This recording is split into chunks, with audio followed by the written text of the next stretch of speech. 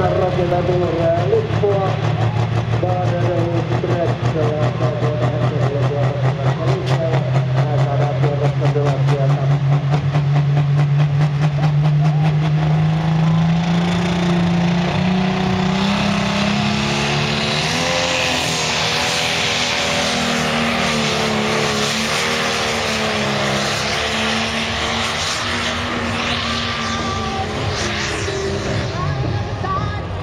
Ja ei voi ainakaan sanota.